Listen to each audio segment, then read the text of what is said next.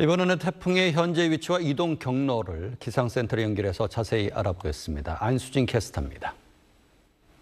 네, 현재 태풍 흰남노는 타이완 동쪽 해상에 위치해 있고요. 중심 기압 940헥토파스칼로 매우 강한 세력을 유지한 채 북상하고 있습니다.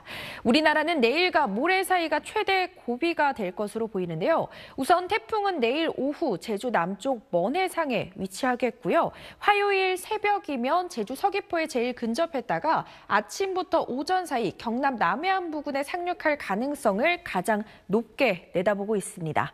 이미 군대 군데 비구름이 자리하고 있고요. 특히 제주 지역에는 시간당 10mm가 넘는 강한 비가 내리는 곳도 있습니다.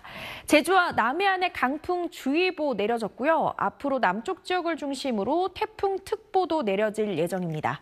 내일과 모레 사이 제주와 남해안을 중심으로는 순간적으로 시속 145km 이상에 달하는 그야말로 주행 중인 트럭이 전복될 수도 있는 매우 강력한 바람이 불 것으로 보여 주의가 필요하겠고요. 비의 양도 상당합니다. 전국에 100에서 300mm의 많은 비가 예보되어 있고요.